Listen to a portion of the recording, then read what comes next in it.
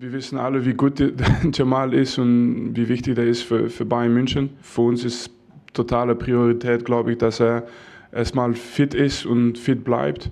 Und äh, was ich auch da, dazu sagen muss, also er hat das hervorragend, hervorragend, gemacht, muss ich sagen. Er hat ganz, ganz offen mit uns kommuniziert. Aber letztendlich, ähm, glaube ich, ist die Entscheidung richtig, jetzt zu sagen, okay, erstmal Pause machen und äh, dann kannst du hundertprozentig fit äh, werden.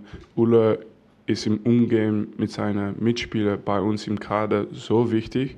Wenn so jemand mal einen Fehler macht, dann, ähm, dann glaube ich, ähm, hat Max und die Vereine auch die richtige Entscheidung getroffen, dass wir, dass wir ihn unterstützen. Immer so, Commerzbank Arena, ein besonderes Spiel, glaube ich. Und ähm, eine Mannschaft, die sehr stark im, ist im Counter, eine Mannschaft, die, die auch mit vielen jungen Spielern ähm, viel Talent hat.